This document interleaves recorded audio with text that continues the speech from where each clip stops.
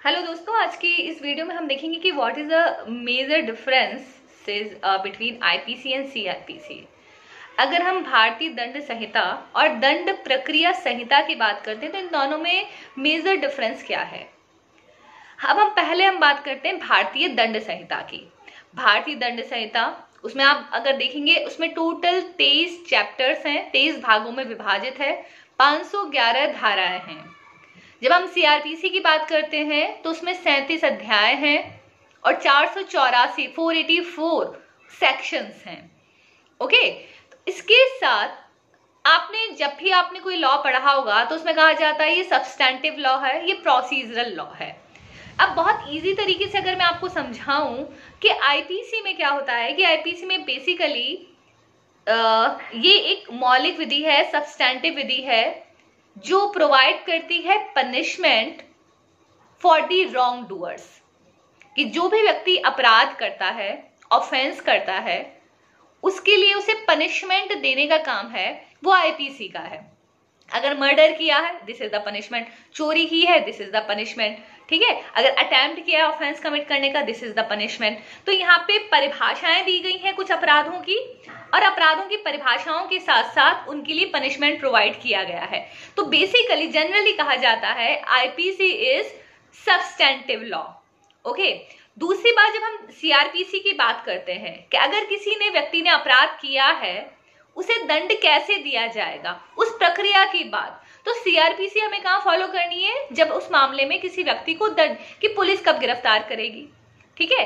Bailable offence कौन कौन से? नॉन बेलेबल कौन है कहाँ पे बेल स्वीकार होगी, कहाँ पे स्वीकार नहीं होगी? बेल किस किस तरीके से दी जाएगी? कोर्ट कैसे प्रोसेस करेगा? जो गंभीर मामले हैं, जिनका कमिटमेंट जो केवल सेक्शन कोर्ट के द्वारा सुनने जाने होंगे, उसको कमिटल कैसे किया जाएगा? तो such kind of provision are there in CrPC CrPC वो प्रक्रिया बताता है, जिसको पूरा करने के बाद आप अपराधी को पनिश कर सकते हैं।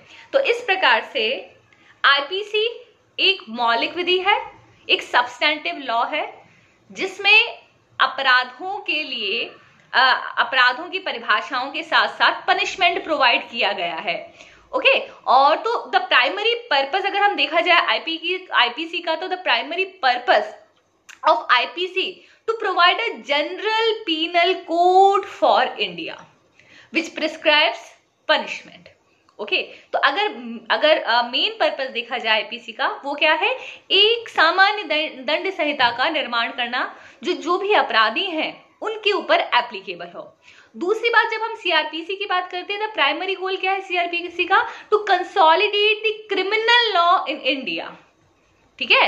इन दी कोर्ट्स कोर्ट कैसे फॉलो करेगी किस मामले को फॉलो करेगी कौन किस कोर्ट के पास कितनी पावर है कितना पनिशमेंट दिया जाता है कौन सा मैटर कहाँ जाएगा पुलिस की क्या प्रक्रिया होगी ठीक है ना? और अपराध अपराध आपने बता दिया आईपीसी में अब अपराध suppose A has committed an offence of murder ठीक है? ऑफेंस अब ऑफेंस मर्डर का किया है चलिए आपने आप, आप आपको लेकिन क्या होगा आपको चार्ज आपको पुलिस तो गिरफ़्तार करेगी व्यक्ति को जो भी रॉन्ग डूअर है सब पुलिस के द्वारा गिरफ़्तार किया जाएगा कैसे गिरफ़्तार किया जाएगा?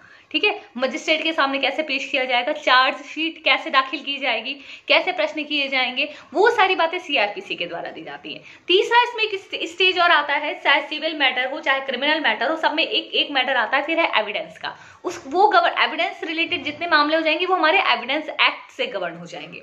तो ये आपको याद रखना है कि जो आपको ऐसा कोई लॉ अगर सिविल की बात करें, अगर ऐसा कोई लॉ है जो आपको केवल अधिकारों कर्तव्यों की बात बताता है ठीक है? This is your duty you have to do this ठीक है? और this is your right you can ask compensation for that right it is a civil law तो जैसे कॉन्ट्रैक्ट है कॉन्ट्रैक्ट क्या है? आपके सिविल अधिकारों की बात कर रहा है, ठीक है? लेकिन अगर आपको कॉन्ट्रैक्ट किसी ने ब्रीच ऑफ़ कॉन्ट्रैक्ट किया तो you are having right to get compensation from that another party लेकिन कैसे? सीपीसी में जाना होगा।